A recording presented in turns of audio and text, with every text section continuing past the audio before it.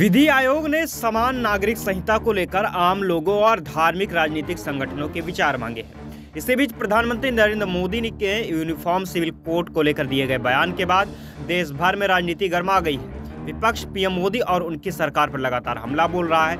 इस कड़ी में कांग्रेस की यूपीए सहयोगी पार्टी डीएमके ने सवाल उठाते हुए कहा है कि पहले हिंदुओं पर लागू हो समान नागरिक संहिता।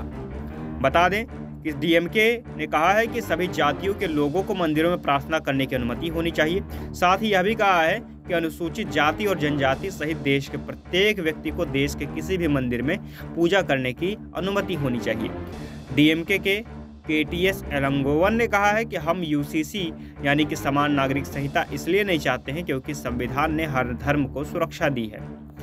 बता रहे हैं कि अलग अलग पार्टियों के अलग अलग नेताओं ने अलग अलग तरह से प्रधानमंत्री नरेंद्र मोदी के इस बयान को घेरा है और इसके साथ ही यूनिफॉर्म सिविल कोड का विरोध किया है। कांग्रेस के महासचिव के सी वेणुगोपाल ने एक बयान में कहा है कि पीएम मोदी को पहले देश में गरीबी, महँगाई और बेरोजगारी के बारे में जवाब देना चाहिए। वह मणिपुर मुद्दे पर कभी नहीं बोलते हैं, पूरे राज्य जल रहा है, वह सिर्फ़ इन सभी मुद्दों को लेकर ध्यान भटका रहे वहीं एआईएमआईएम के प्रमुख असदुद्दीन ओवैसी ने पीएम मोदी पर निशाना साधते हुए कहा है कि भारत के प्रधानमंत्री भारत की विविधता और इसके बहुलवाद को एक समस्या मानते हैं, इसलिए वह ऐसी बातें कह रहे हैं। क्या आप यूसीसी के नाम पर देश के बहुलवाद और विविधता को छीन लेंगे?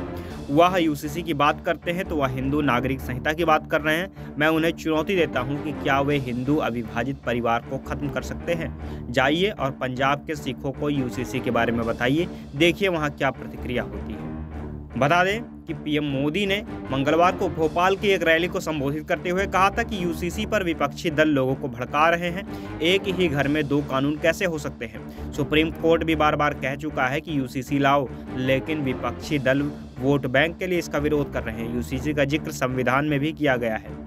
आपको बता दें कि समान नागरिक संहिता का मतलब सबके लिए एक कानून से है। इसके तहत सभी धार्मिक समुदायों पर विवाह, तलाक, विरासत, गोद लेने की परंपरा और रख रखाव जैसे मसले पर एक जैसा कानून पूरे देश भर में लागू होगा।